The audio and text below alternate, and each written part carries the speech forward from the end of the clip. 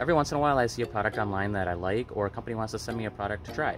And this is one of those products. Even though I'm not getting paid for it, I did receive it for free, uh, but I just wanted to show you uh, what this is. These are the bucket grips. Uh, they come put together like that. And you just attach them to each side of the bucket.